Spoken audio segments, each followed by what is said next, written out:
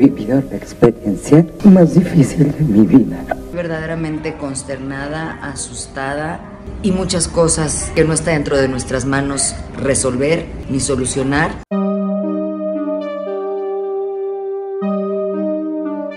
Daniela Castro ha hecho todo lo posible por mantener unida a su familia. La guapa actriz de telenovelas y su esposo Gustavo Díaz Ordaz III se conocieron en una fiesta en 1991. Para el 99 contrajeron matrimonio. En una celebración a lo grande, Daniela pensaba que ella se casaría para toda la vida, pero nunca se imaginó lo difícil que sería cumplir esa promesa. Poco a poco, conforme pasaban los años, Daniela comenzó a ver las señales. Gustavo Díaz Ordaz III se la pasaba siempre en su oficina. Las sospechas de Daniela traerían sus frutos. Su esposo le estaba poniendo el cuerno con una mujer mucho menor, Gustavo y Daniela eran considerados como una de las parejas más sólidas del mundo de la farándula de aquel entonces. Después de dos hijos en común y 15 años de matrimonio, Daniela descubrió su secreto. Su esposo le estaba poniendo el cuerno con una joven ejecutiva bancaria, 15 años menor que ella. Cuando Daniela se enteró que su esposo le estaba poniendo el cuerno, hizo todo lo posible para que la prensa no se enterara, pero ningún esfuerzo resultó. Rápidamente la noticia apareció por todas partes, pero eso no era lo más insólito de todo.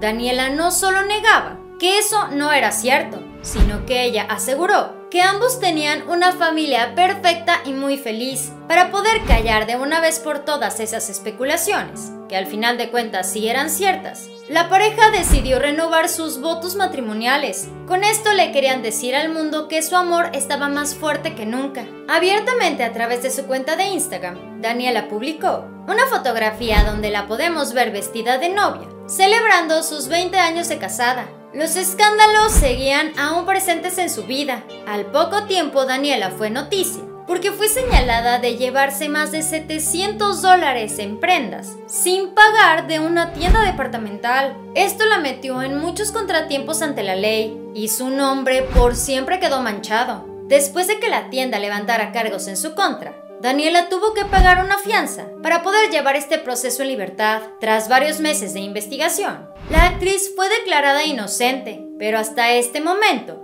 ese escándalo sigue marcando mucho su nombre. Como cereza del pastel, a través de redes sociales, después circuló un video de Gustavo Díaz Ordaz III a bordo de un avión haciendo tremendo escándalo. A él lo tuvieron que bajar varios oficiales porque no podían proseguir con el vuelo.